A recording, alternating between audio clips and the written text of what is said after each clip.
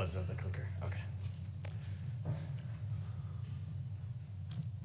Well, thank you uh, for that introduction, and it's a it's a pleasure to be here, and honored to speak to this group. I don't think I've ever spoken in a setting quite as festive as this one. To be in a hangar with palm trees and Christmas lights. So I only hope that my lecture will do the setting justice. Just at the beginning, I'll just mention just uh, that we at the Church History Department are trying to do a lot of things to make our collections of Latter day Saint history more accessible uh, through really wide scale digitization of manuscripts, uh, research grants that we began just this year to help people come to our collections and dive in, uh, consultation specialists to help researchers. Uh, several of us from the Church History Department are here. And if you need information on any of that about how to use our collections, please stop any of us because we'd be excited to, to, um, to share that with you. So, my task today is to give us some background for why we're in Fredericksburg. We've now heard about Fredericksburg and heard just a little bit about Zodiac. And I'm going to tell us a little bit more of the backstory. So, this year, we in the Church History Department are celebrating the end of the Joseph Smith Papers uh, the publication of the final volumes. Over the past 15 years, we've published 27 volumes, almost 20,000 pages, and even more contents on the website.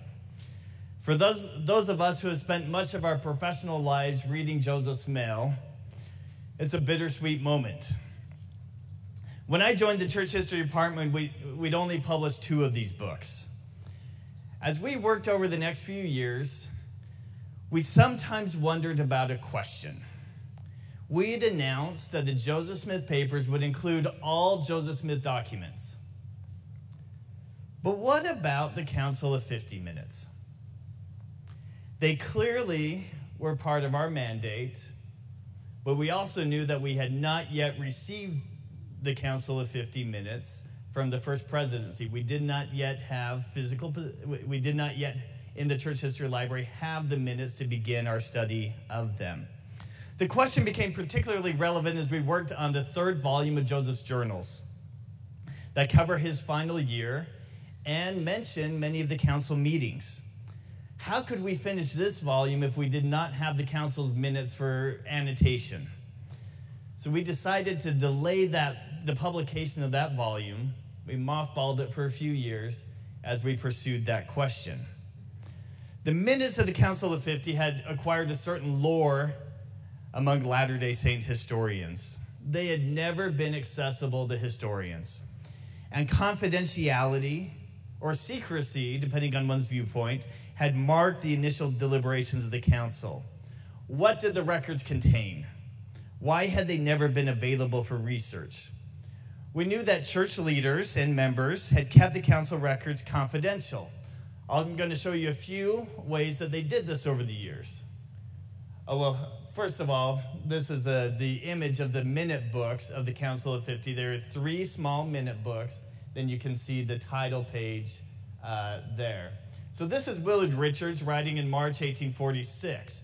To conceal the identity of the council of which he was writing, the last line says here, about 25 men were selected by the council now he crossed it out, someone crossed it out, but we can still decipher it. YTFIF. Now, that is a code that can be broken. So as they as we went along in our history, we got a little bit more innovative in concealing the identity of the council. So this is a letter, George Cannon, to John Taylor and Joseph F. Smith, December 1880. And if you're George Cannon and you want to conceal the identity of the Council of 50, what are you going to do in your letter, your correspondence with Joseph F. Smith? Well, you're going to call it the Council of Kanalima. Why? They both speak Hawaiian. And how many people along the trail of the mail in 19th century America speak Hawaiian? So I think that's a little bit better than the YTFIF, but still could be broken. So at a certain point, we requested from the First Presidency the permission to publish the Council's minutes. To help them understand the Council, I was assigned along with Ron Esplin to read the minutes and to write an essay about their contents. This was a real thrill to be one of the first historians to examine such an amazing record. After we uh, submitted our essay, we received word that we had permission to go ahead and annotate the minutes, release them as part of the Joseph Smith papers. This is uh, one of the pages of the minutes. If, if you can see, it's, it's beautiful handwriting. It's William Clayton. And here we have a list of uh, the men, all men, who are members of the Council of 50. The standing chairman, Joseph Smith, is here. And then a list of uh, about 50 men, and that's initially where the council gets uh, kind of its nickname. Uh, the men are listed in order of age because age uh, was important in the Council 50. When they attended the meetings, Joseph Smith sat at the head of the table, and then they sat in uh, according to age. And when they counseled about a topic, each man had an opportunity to weigh in. You began with the oldest and you went around the council. So think about those meetings. I think the JWH board should have 50 members oldest to youngest, all with an opportunity to speak on every topic. And so the meetings often went all day long, as you can imagine. So while the minutes contained elements that could be considered controversial, such as the saints' discussion of creating a theocracy where they could establish the kingdom of God, the minutes illuminated many other topics, including a surprising amount of content on Texas and the saints' varied attempts to form a settlement there. To understand why Texas becomes such a, of such interest to Latter-day Saint leaders in 1844 and 1845, of course, we need to understand the climate in Nauvoo. Tensions are increasing between the Latter-day Saints and their neighbors. Wherever they'd settled, the Saints had faced these tensions, and in spite of repeated pleas for protection or redress, the federal government had not helped them. Disillusioned then with both state and federal governments, many saints desired to move where they could be the first settlers, most likely outside of the United States. But in early 1844, where we're going to begin our story, they had not yet decided on that option.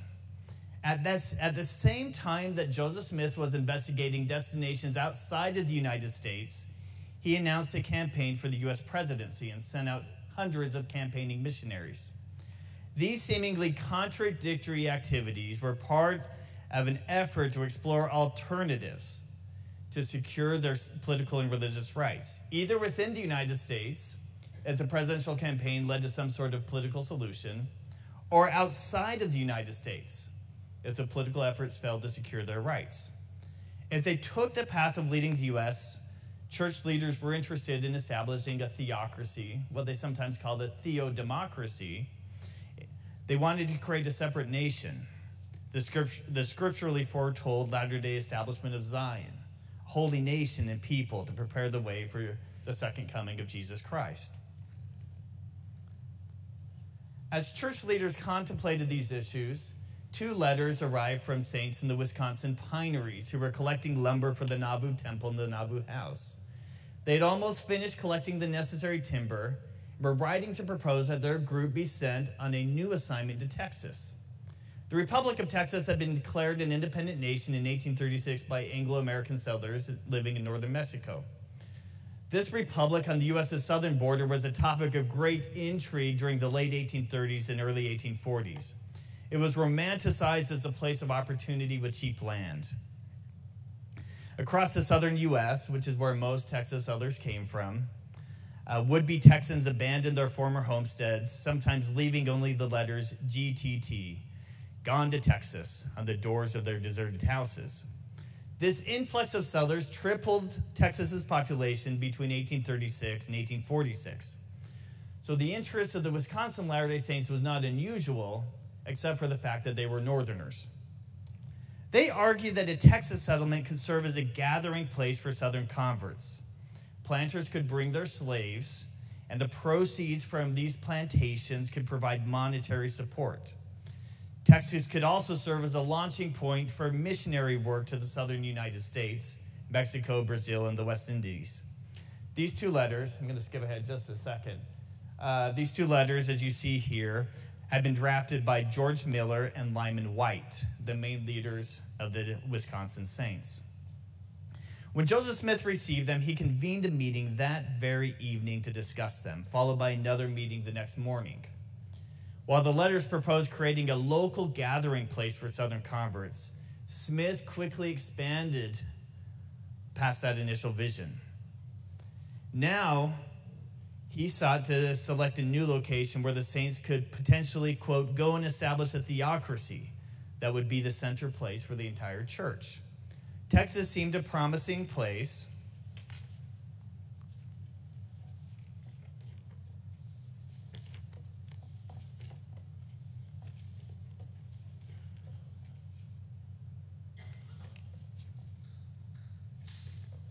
This is what happens when you mix up your papers.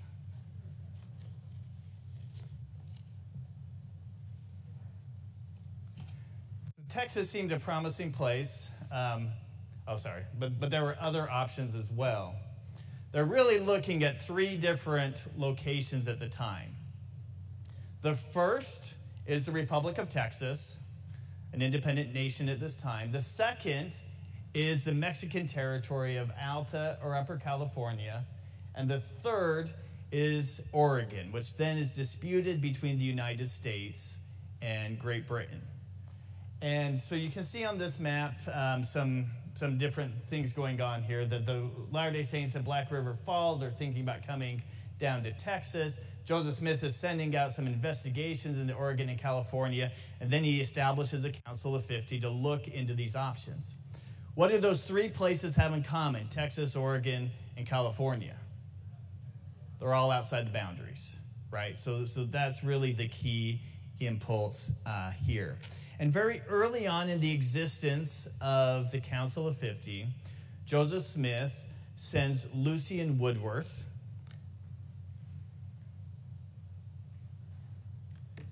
to go to Texas and investigate the possibility of a settlement there. And Lucien Woodworth is not very well known today, but he had uh, he was uh, greatly trusted by Joseph Smith. He was an architect of the Nauvoo House, which was a very important uh, building in the city. Uh, he was one of the first uh, Latter day Saints to receive the endowment outside the temple. Uh, he's, he's trusted both in a, a, sort of a strategic sense as well as a, a, a religious sense. And Woodworth makes this voyage uh, to Texas and meets with Sam Houston, and then he comes back and reports to the council uh, of uh, 50. Initially, Houston seems to be not very enthusiastic about Woodworth's uh, offer of bringing Latter day Saints to Sutherland, Texas. But Houston was grappling with a couple of key problems at this time. One was that uh, the Republic of Texas had a lot of financial problems. The second was uh, that they faced threats uh, from uh, Mexico, which had never recognized Texas independence, as well as in, native uh, tribes in Texas. And so quickly, Sam Houston came around to the view that a large influx of Latter day Saint settlers could help with both of those problems. Uh, they could provide financial resources, and they could also serve as a buffer, perhaps, between the Republic of Texas and Mexico, or the Republic of Texas uh, and indigenous groups. Uh, so he soon tells Woodworth that he will do all he can with the Texas Congress to uh, get approval for Latter day Saint settlements uh, there, notwithstanding the negative reputation of the Latter day Saints among much of the American population at this time. When Woodworth returns home uh, to Nauvoo and reports on the mission of the Council of 50, the council asks him to return and attend the Texian Congress to help bring about the Saint settlement there. It's unclear and probably unlikely that Woodworth actually goes on this second Texas mission. Uh, the council also authorized 25 of the Wisconsin Saints to go to Texas as soon as possible so they could start planting crops for a future settlement. The Council of 50 closely followed news and rumors regarding Texas, Oregon, and California, seeking information on the quality of the land and the political situation in each. Rumors swirled in the national press about the potential annexation of these locations, which was a topic of great public interest in light of Americans' expansionist desires. In his presidential campaign platform, Joseph Smith had advocated for the incorporation of Texas and Oregon into the Union, as well as potentially Canada and Mexico. In contrast to many contemporaries, Smith sought to annex locations that asked to be annexed, uh, so by invitation rather than by conquest. In spite of Smith's support for Texas annexation, though, Latter day Saint views were complex and evolving during April 1844. By April, multiple members of the Council of 50 hoped that Texas would remain outside of the Union. In his meetings with Sam Houston, Lucien Woodworth had sought to dissuade the Texas president from seeking annexation. In a late April letter from Washington, D.C., Orson Hyde suggested that maybe it was for the best that strong political forces opposed to Texas annexation, suggesting that it might be God's will that Texas not enter uh, the Union. So, at the same time that you have council members out as campaigning missionaries, presumably advocating for Joseph Smith's platform that calls for the annexation of Texas, you begin to have real doubts among many uh, people in Nauvoo whether that was actually a good idea, and perhaps it would be best if Texas was not annexed after all. At the same time that the Council of 50 was sending Woodworth to Texas, the group took additional actions to prepare the way for a potential Texas settlement. They drafted a petition to Congress, delivered by Orson Hyde, which requested permission to gather up to 100,000 volunteers to help defend Texas and Oregon from foreign invasion. If you thought the Nauvoo Legion was ambitious, this is on a whole different scale. Key purpose of the, of, the of the petition was to ensure that a potential Latter-day Saints settlement group heading to Texas or Oregon received the protection they felt they had lacked uh, previously. By having their own federally sanctioned defense force, they could protect themselves and other frontier settlers. The petition included a request for Joseph Smith to be commissioned an officer in the U.S. Army so that he could lead uh, the group.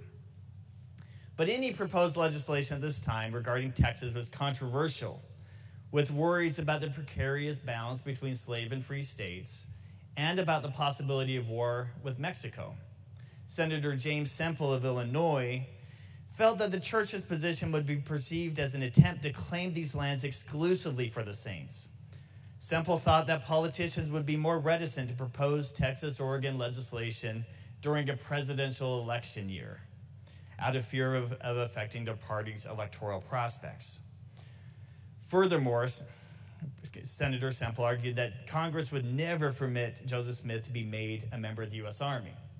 So Orson Hyde took that uh, request out of the petition.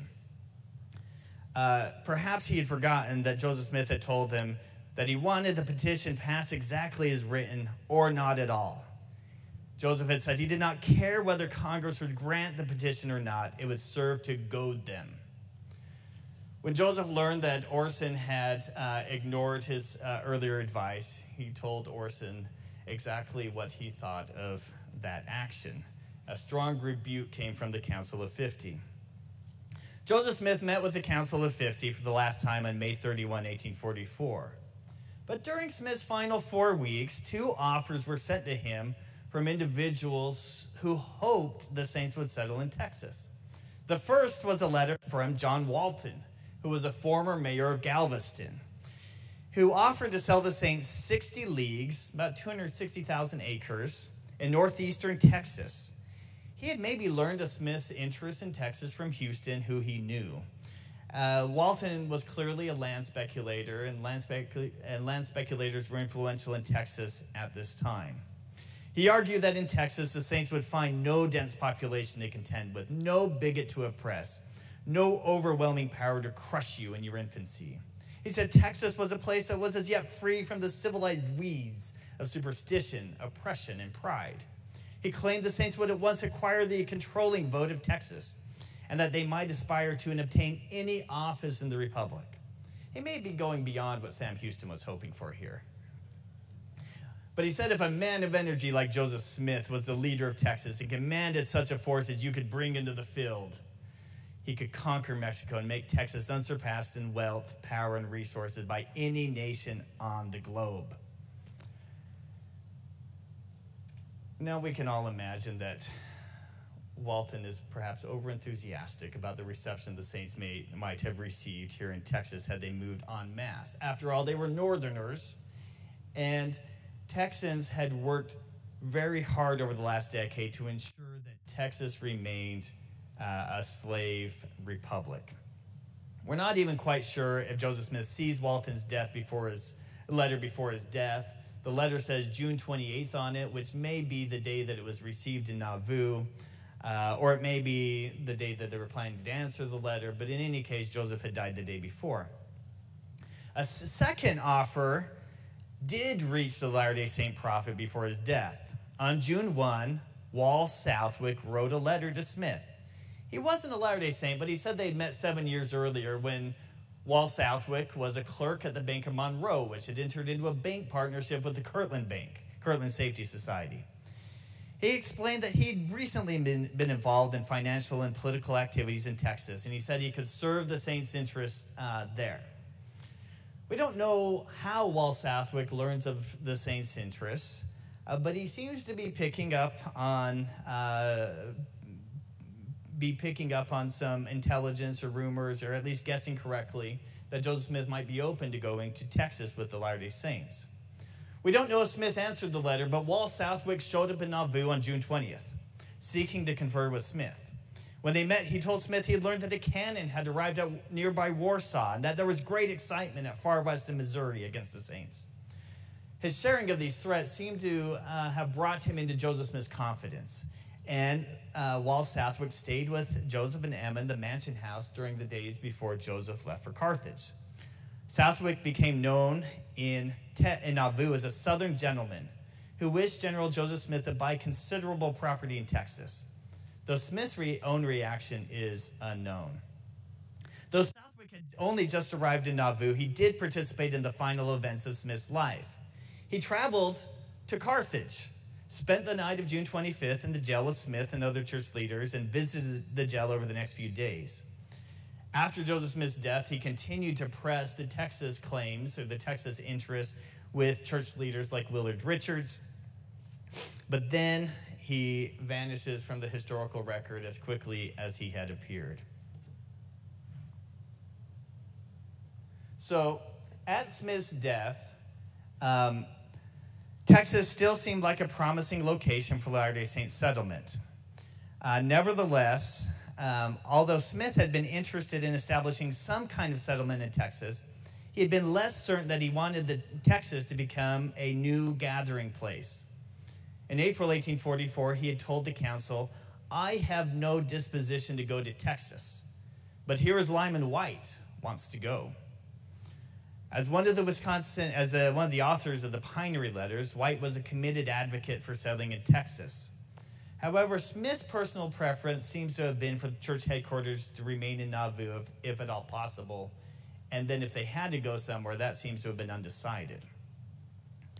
The day after Smith's death, um, the saints also learned that their uh, petition uh, for the 100,000 troops uh, had been rejected by both Congress and President uh, John Tyler. So at Smith's death, then, both Texas, California, Oregon are still all in the saints' minds as possible uh, locations. Lyman Wight is the key to the next part of this story.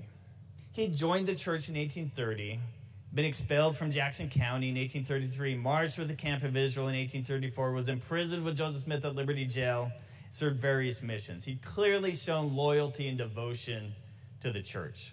In 1841, he became a member of the Quorum of the Twelve Apostles and then received the assignment to uh, lead the settlement at, uh, at the Wisconsin Pineries. And that was not just sort of a tangential assignment.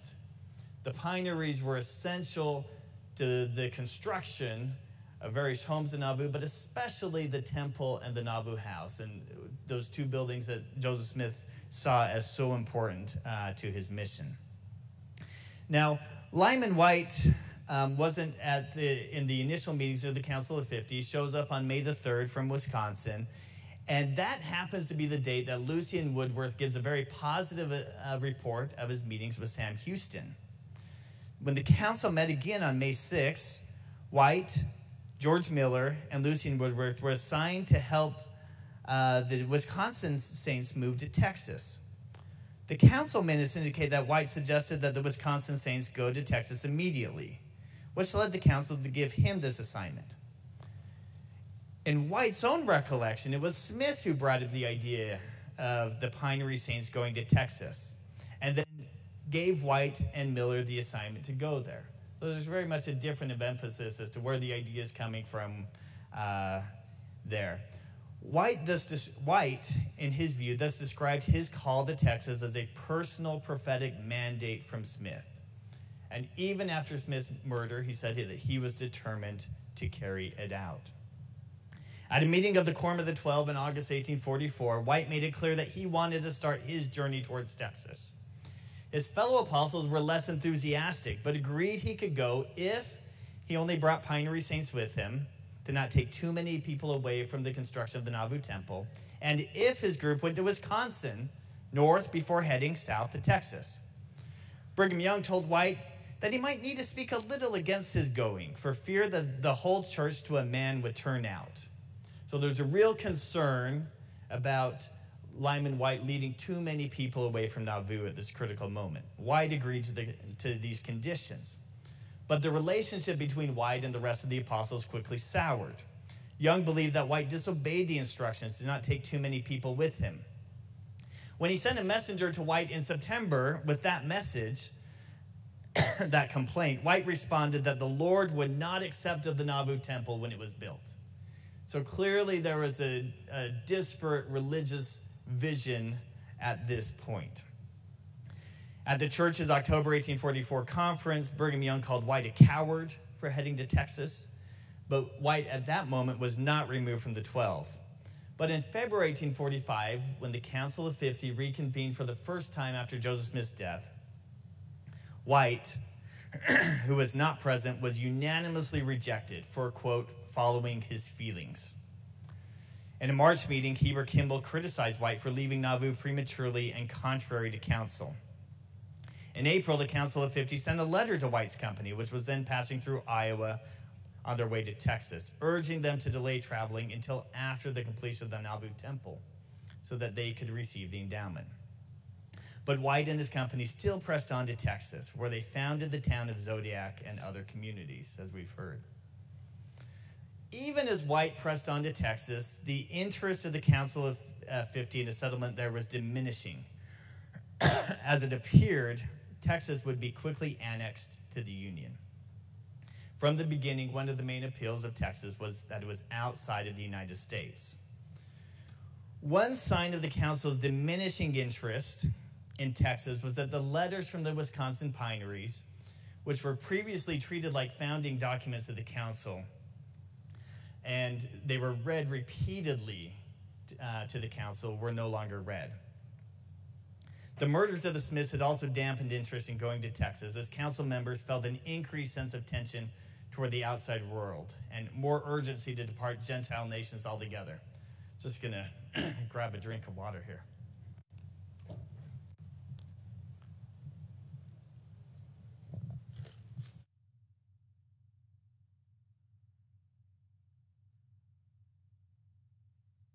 Very long walk.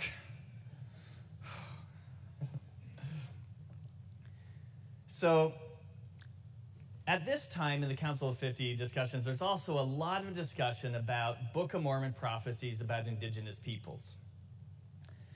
Uh, prophecies that foretold that Lamanites, in their view, Native Americans, would convert and join forces with the church against the Gentile world.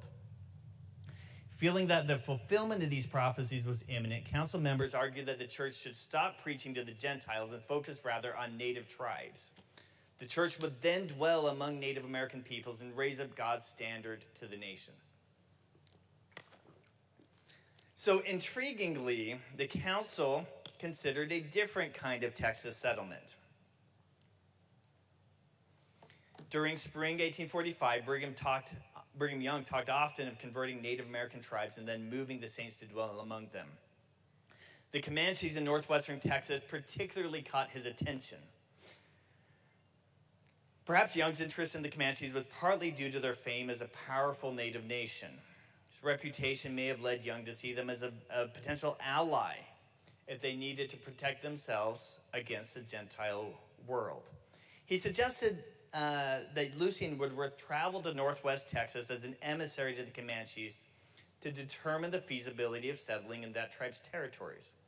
So think about that dramatic shift in Lucien Woodworth's mission. First to Sam Houston, and now to the Comanches, who uh, are the sworn enemies of the Texas Republic. Suggests how Latter day Saint distrust of the outside world, world grew in the aftermath of the Smith's death, with a corresponding growth in, in millenarian interest in Native American peoples. The idea of sending Woodworth to the Comanches was never again mentioned in the council. It appears that he never actually went. But the council did send five other men on a Western mission to meet with the Comanche and Cherokee nations, as well as attend a large gathering of Native nations that would supposedly be soon uh, would supposedly uh, be held in Council Bluffs, Indian Territory. They set out from Nauvoo in late April 1845. Around that same time, the Council of 50 receives another proposal involving Texas uh, from a guy named William P. Richards, who writes to church leaders suggesting that the federal government, to stop tensions between the Latter day Saints and their neighbors, should create a, quote, Mormon reserve an area set aside for the exclusive use of the saints. Orson Spencer, as an assignment from the Council of 50, wrote back to William Richards, asked him to start lobbying for that, and he suggested four possible locations Wisconsin, Oregon, Texas, or Indian Territory just west of Missouri. The lobbying for the Mormon Reserve, of course, never goes uh, anywhere. But it does suggest that the council is remaining open to a variety of options that might bring peace or protection or let them uh, leave their immediate situation in Illinois. Now, despite Brigham Young's interest in the Comanches of Texas and Orson Spencer's request for a Mormon reserve in Texas, the idea of going anywhere in Texas began to receive vocal opposition from Council of 50 members in 1845. And this really contrasts starkly with the discussions of the year earlier. Almon Babbitt says that in Texas, the church would find the southern spirit predominant, which has harassed us all the while. Texas's settlement by Southerners alarmed him, considering the Saints' previous persecution from Southerners in Missouri. In a later meeting, Babbitt declared that he would not be for going to Texas, for there are already there many of those who have mobbed us and the filth of all creation. Adding that he wanted to go to a place where the vulture's feet has not trod, no matter how far the journey. After that lovely description of historic Fredericksburg, I feel bad about reading this quote about the filth of all creation. I, I don't endorse it. Even Joseph Young, Brigham Young's brother, speaks vocally in the Council of 50 against any idea to uh, go to uh, Texas. And even council members who were previously promoters of a Texas settlement had lost interest. George Miller, who had signed the letters from the Wisconsin pineries, had been one of the most vocal supporters of Texas settlement in 1844.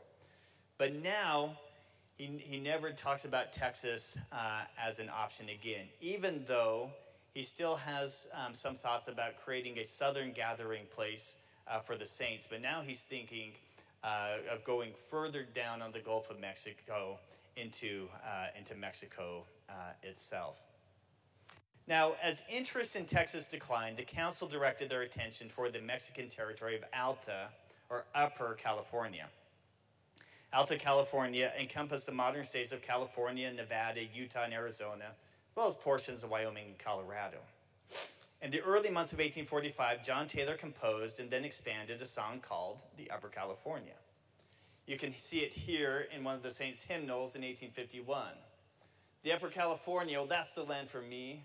It lies between the mountains and the great Pacific Sea. The saints can be supported there and, twa- and taste the sweets of liberty And now in Upper California. Oh, that's the land for me. Perhaps we might sing the second verse together. No, we're not really going to see the second verse together. The Upper California was sung repeatedly at Council of 50 minute, uh, meetings in 1845, just as the Wisconsin Pinery letters advocating a Texas settlement had been read repeatedly in the meetings in 1844. Uh, and it really, that I think indicates this real shift towards Texas is now annexed into the United States. Uh, we're not seeing possibilities there. Let's focus on uh, the Upper California. So the Council of 50 does not meet between May and September 1845. When they reconvened in September, some members of that Western mission had just returned to Nauvoo. They had met with uh, representatives of multiple tribes, several of whom were reportedly friendly and seemed to understand what is going on among us and are ready to render us any assistance. But it does not appear that any member of the Western Mission had met with the Comanches in Texas, even though they were the tribe Brigham Young had been most interested in.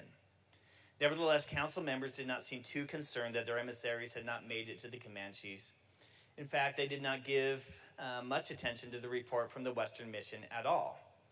Although Young commented that the council had learned considerable of the feelings of the Indians towards us and the prospect is good, that is all anyone in the council had to say about the matter.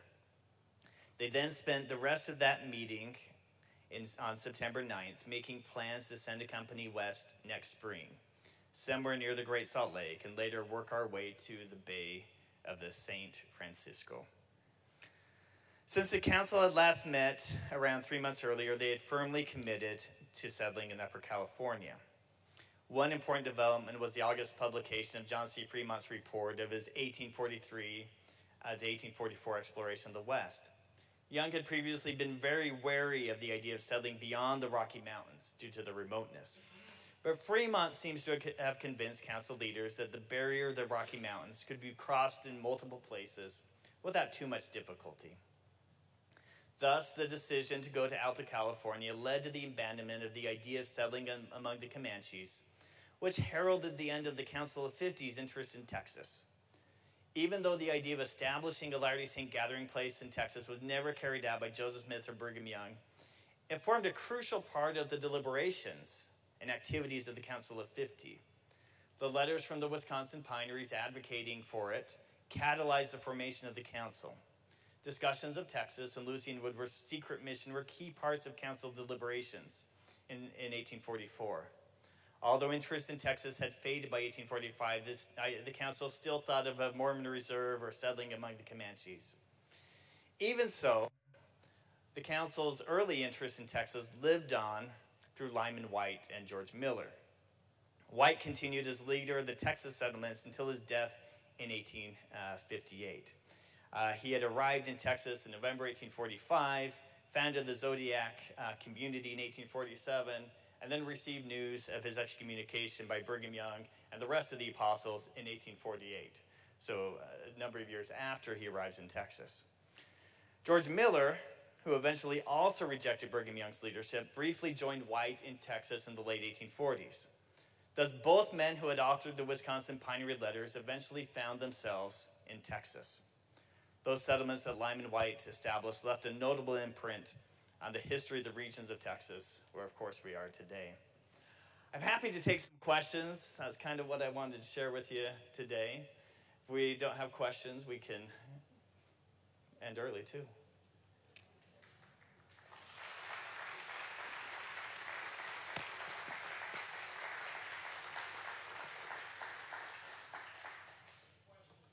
Okay.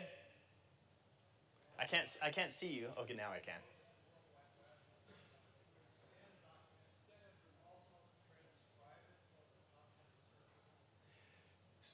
Can you say that again?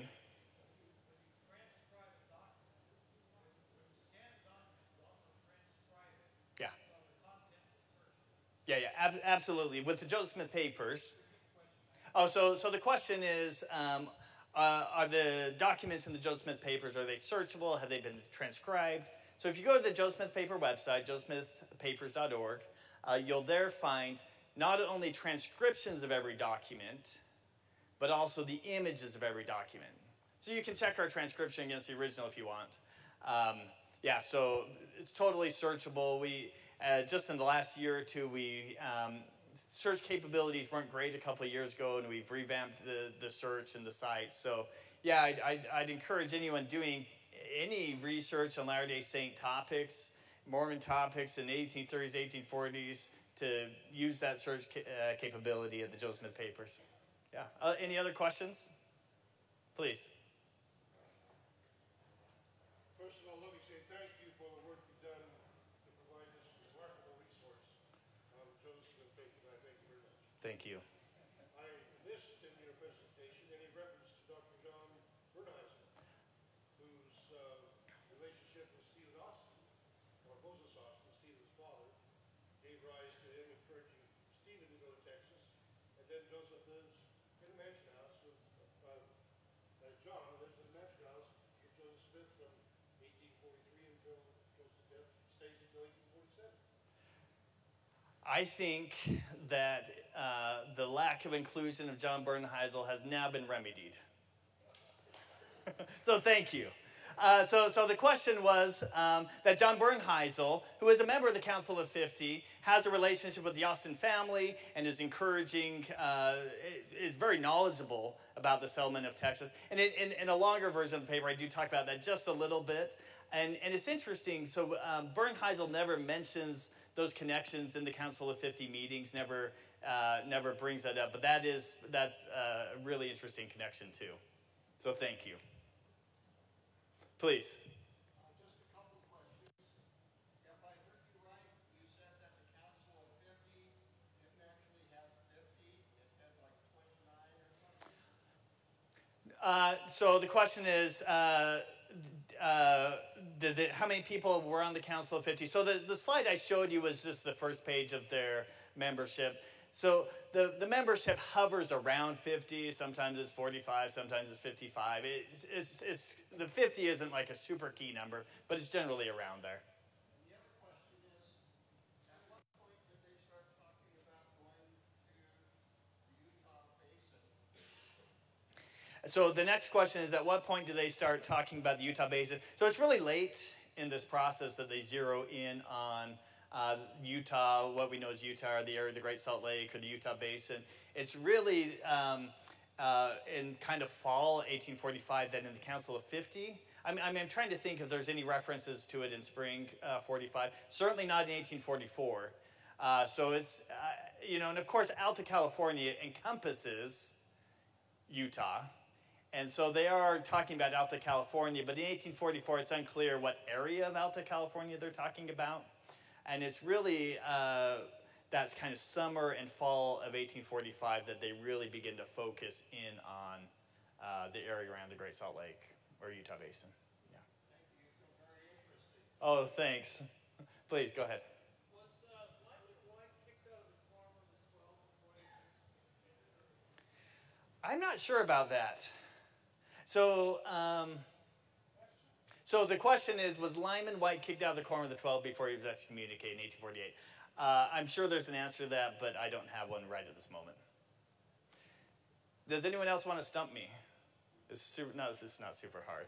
Please go ahead. Who was it, who was it that called him the, wi- the wild ram of the mountain? Who was it? That's a great nickname. Yeah, it is a great nickname. Who was it that called Lyman Wight the wild ram of the mountains? I'm sure that knowledge is here with Alex Baugh. It's Phelps. It's Phelps. Phelps, yeah, he writes it in December 45, and I think people think, oh, the wild ram of the mountains, you know, kind of Utah. But he was up in the Pineries, I guess they kind of felt like that was where he's at. He's just kind of a, uh, uh, anomaly. Just, Yeah. Uh, yeah. I, I, I know relatives of his, and they think it fits really well. Yeah. So this is a, this is a fun game because if you stump me, then we will just collectively answer the question. This is awesome. Please, right here. How did the name Zodiac come about? Again, I'm going to crowdsource this answer. Does anyone know? I don't know. Please. Uh, the, uh, the first sign of the astrological calendar is the ram, or Aries. And so it, if it takes a while around the mountain, he named it Zodiac. I feel like these questions are just perfectly set up. This, this has been amazing. This is great. Any other questions? Uh, Kind of in the back there, and with the black shirt.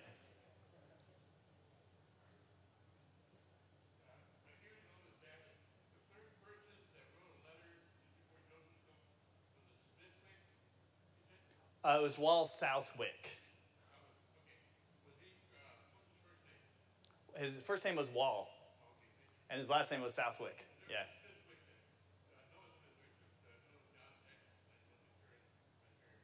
Okay. Yeah, that, that question was just clarifying the name of the second person who wrote Joseph Smith with an offer of, of land. It Wall Southwick. Yeah. You can find that letter on the Joseph Smith Papers website. Please, go ahead. Did they send anyone out to Mexico to find out what Mexico would, how Mexico would treat the Saints? They, so the question is, um, the Council of 50 sends this emissary to Texas. Did they send anyone to Mexico? They did not. Yeah, so the idea of settling Mexico does arise uh, in, um, in the area that we know as Mexico today. It does arise in spring 1845, but they never do send anyone there to kind of be on the ground. Please. Just a comment, when I lived in California about ten years ago, the bishop of my ward was named Roy Southwick. And I'm not exactly sure, I know that he was raised, but there's not very many Southwicks, because I we talked about his name one time, and he said anybody who was named Southwick was probably related to him. So it's kind of interesting, because this Southwick guy, Wall Southwick, was not a Mormon when he did write his Right. Joseph Smith. Am I correct in saying that? You are correct. And so we have determined that Wall Southwick was not a Mormon, but his great great great grandson is. A bishop, apparently. Yeah. Nope. That's interesting. Thank you. Please, back there. I understand that uh, Joseph Smith's presidential platform included um, advocating for the annexation of Texas. Uh, Was that at least in part to um, provide a location for emancipated slaves, which was also part of Smith's platform? Yeah, uh, I'm not sure that that's really clear in the presidential platform. Uh, I, uh, um, if there's if if there's a clear connection in the platform, maybe someone here knows uh, has, has read the platform recently between the emancipation of slaves and the annexation of Texas uh, as kind of a, a, a- a place where freed slaves could live. I don't think that connection is there. Okay, it's not. I like it when I'm right. Please.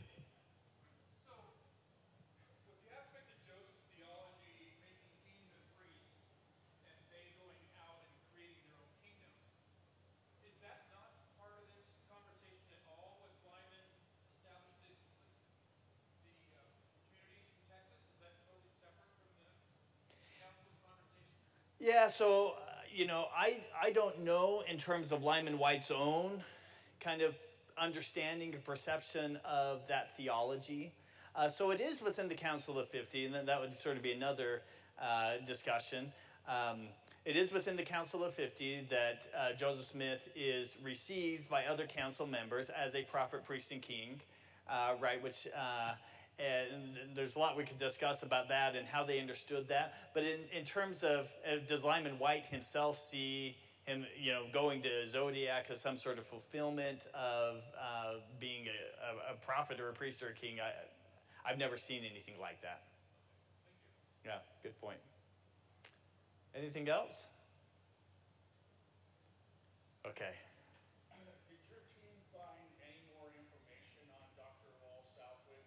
He, uh, he shows up and he disappears. To my knowledge, we just don't know where he came from or where he went after that. Like, we can't find him, right? Is that still the case? That's still the case. Yeah, no. So he uh, he does seem to be kind of a, a shadowy historical figure, right? Who just kind of appears on on, on um, the scene. So the, all, all the thinking we have on that is uh, published in the um, most recent documents volume for the Joseph Smith papers. Came out a couple months ago. It covers the last month of Joseph's life.